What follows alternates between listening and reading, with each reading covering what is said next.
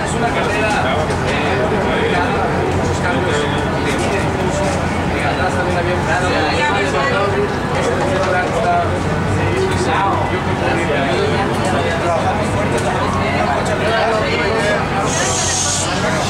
pudimos terminar más adelante, no por pero el equipo así lo decidió y... Gracias.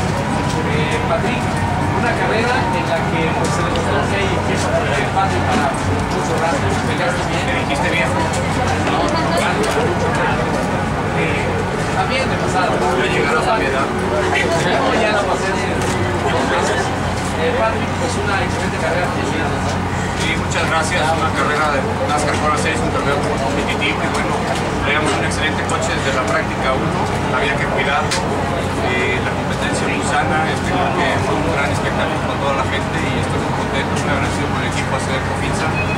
un buen segundo lugar.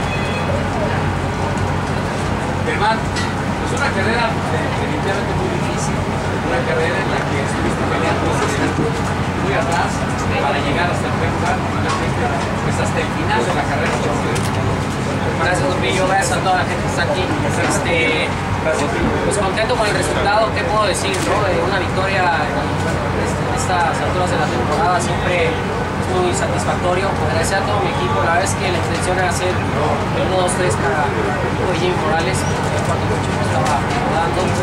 Y una lástima hacia el final lo que pasó a, a Rubén Robelo. Este, pero bueno, la verdad es que el equipo es muy fuerte prueba de ello que, estábamos ahí en las últimas vueltas y logramos separar de los demás rivales y muy agradecido por, por todos los pilotos de eh, escudería, con todo, todo, el equipo en general, la verdad es que han puesto, me han puesto un excelente coche estos, estos últimos tres años con el cual he dar resultados.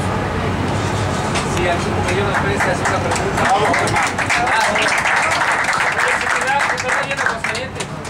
Este, gracias, la verdad es que eh,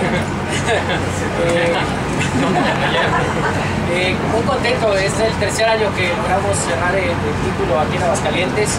Este, muy agradecido por toda la gente, creo que es una excelente pista la cual nos aquí. Fuimos eh, los primeros ganadores de, de, este óvalo y bueno, pues eh, muy agradecido por toda la gente que siempre nos recibe muy calurosamente y, y, obviamente nos gusta mucho a esta colaboración. ¿Seguirá Germán Quiroga en México o ya? Bueno, no sé, ojalá, ojalá este, podamos completar algo en Estados Unidos, pero pues si no, obviamente estaremos lleno pregunta